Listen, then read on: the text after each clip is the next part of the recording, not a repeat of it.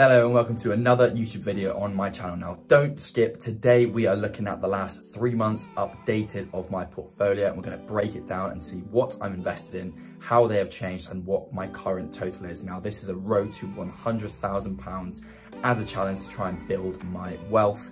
We started the last end of 2020 with 25k and we are building and building that wealth slowly through investing and diversifying my portfolio as much as possible. I could always do better, but um, going through different techniques to try and reach £100,000.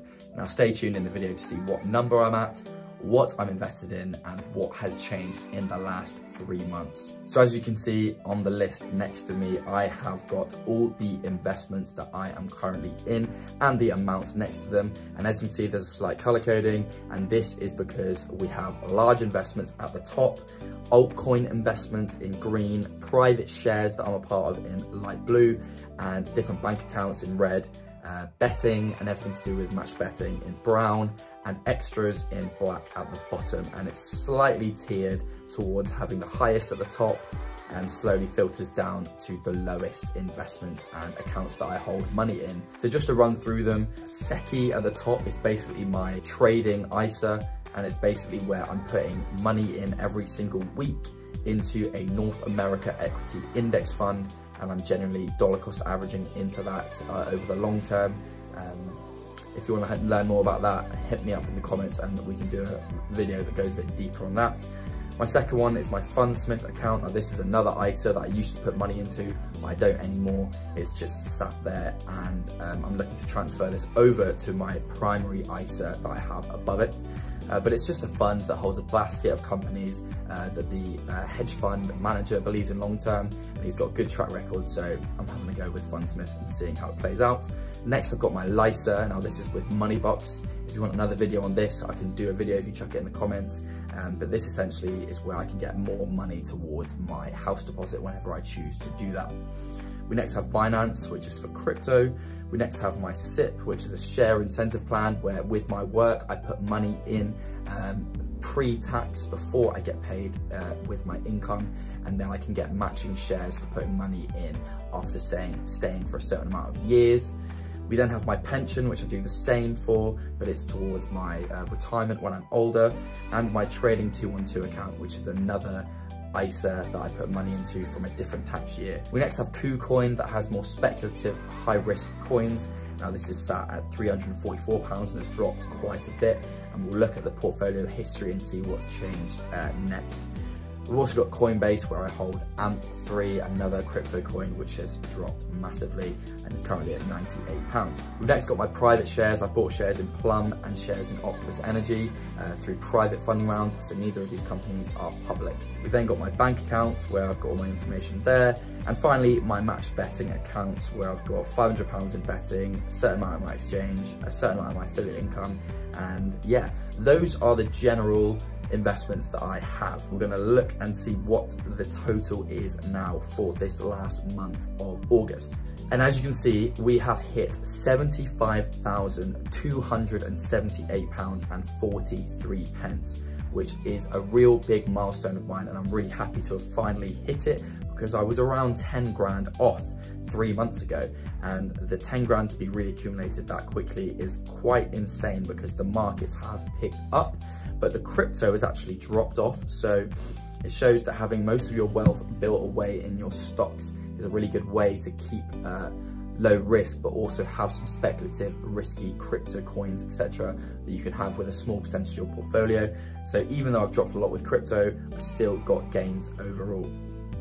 Now, as you can see, I started the year on 61,000 and it dropped a lot in January when stocks and crypto was also hit.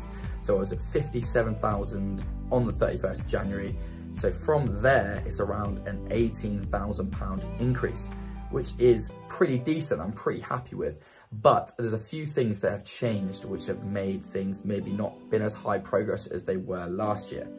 But we can see my average is around £1,600 being invested every month and adding to the portfolio with that average down here on the bottom right. We've also got an estimate, which is um, trying to take that average and add it onto the final months, which says I'll just go above 80,000 by the end of the year. But we don't know what's going to happen with the market, so we're not sure. We've got an optimistic goal, which is obviously the £100,000 we're trying to hit. and what the overall increase is from the start of the year, which is around £14,000. So that's my history for the year. And the only red months we've had where things have gone down and not up were in January and were in May. The other months have all gone up because I have been aggressively investing from my income, um, which reflects it here. So if we go over to my portfolio history, this is where I track the history of all of my individual investments. So we've got all of our portfolio valuations here. So I started recording this in the end of um, September in 2021. So that's where it begins up here with a £53,000 portfolio valuation, which was just over a year ago, which is around £22,000 less off. So that's nice to see as an increase. But let's go through some of my investments and talk about how their histories have differed to the other ones. So starting off, my stocks and shares ISA primary has gone up dramatically. And this is because I have started dollar cost averaging around 800 pounds into this every month, so 200 pounds a week. It's a very aggressive investing strategy, but I thought it would push me to try and save as much as possible when I'm investing first and then spending second to see what my limits were. And in this period, I've managed to still go away for a five week trip. And it's been really eye-opening that with some savings I can still hold out this investing. And with a hopeful, hopeful pay rise at some point we can keep this level of, of investing and maybe even increase it. Um, because I'm not looking to uh, inflate my life with the things that I do um, based on my pay. I want to invest more aggressively so that I am building my wealth quicker at a more accelerative pace as opposed to my lifestyle. Um, I always happily spend money on experiences and memories, but spending money on things I'm not as well invested into as some other people. So I'm looking to inflate my wealth and build that so that I am more freer with my finances as opposed to growing my lifestyle inflation because um, I'm not all about buying flashy things and buying expensive cars. Um, I've got a Skoda Fabia 2003 that um, I've had ever since I was 17 that I'm going to continue having until dies and then something that gets me from A to B, that's an example of not lifestyle inflating to buy a more expensive and more expensive car because I'm earning more and earning more. We then have my Fundsmith account. Now, as you can see, I've not added any money into this, so this has just been fluctuating based on the markets and is staying around 13 to 16,000 pounds. There's not, not much more to really say about this. It's now at around 14 and a half, which is around the average, um, but it's just a basket of funds and I'm looking to just leave that in there to see how it turns out in the long term to diversify my portfolio a little bit from not just having American stocks.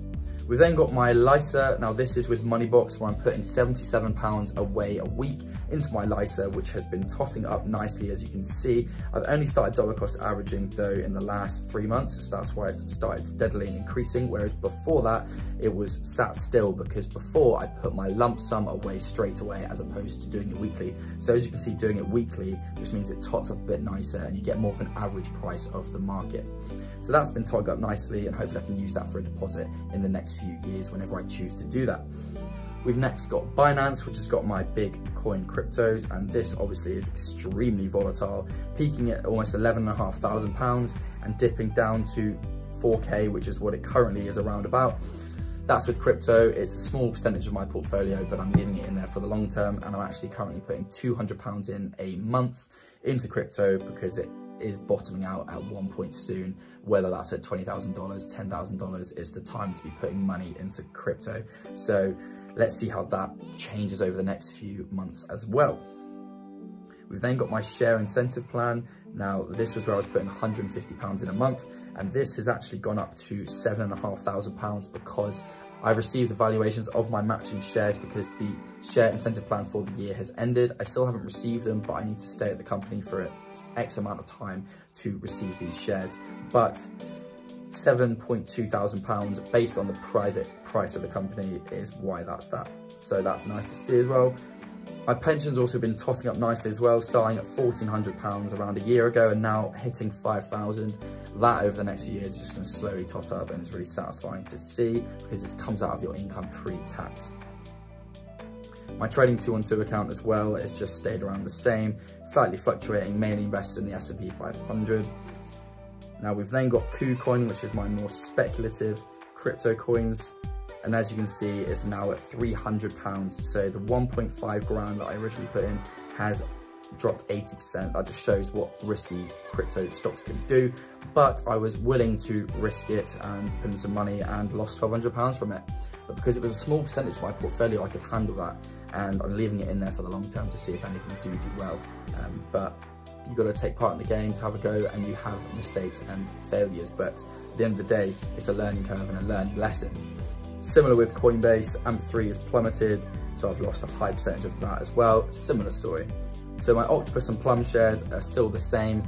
Um, it's a private company and there's not been another funding round where the price has changed. Looking for these companies to get bought out or to go public to really make any money on these. So those are long-term plays as well. And then my bank accounts, it's, it's very varied based on my months. My credit card, some months has actually been quite uh, over my utilization rate, where it should be around 20-25%. So I'm looking at keeping that lower, um, but um, hard to talk about my bank accounts really because they vary with the money that they have in them from month to month. And then we have my betting accounts, my match betting, my exchanges have all been uh, fluttering around based on my activity as well, as well as my affiliate income, um, which has been going up and down based on my activities on social media. And there we have it. That is all of my history of my portfolio, the individual investments and how it has done over the last year. I also had a goal of one of my high motivating goals of hitting £75,000 in my portfolio, which I have now done. So I'm going to cross that off and we can move on to the £100,000 goal. So that is something ticked off, which I'm really happy about. And there we go. That is that ticked off and we can now look to completing the £100,000 portfolio goal, which is really satisfying to tick off. So there we have it. That is my portfolio breakdown for the months of June, July and August. The last three months update, we've gone up around £5,000. We've hit the £75,000 mark, which I'm really happy about. And we're gonna move on to try and get that £100,000 goal. Now, as I always say, this is not a brag. I'm just showing you the opportunities of things you can invest in to help build your wealth like I am trying to do. But if you found the video interesting at all, please hit the like and subscribe button. If you can leave any comments down below about any of these investments that you're also doing or any you recommend, then please hit up the comments and let's have a chat and a discussion. But without further ado, that is the end of the video and I hope you have enjoyed it. I will see you in the next one.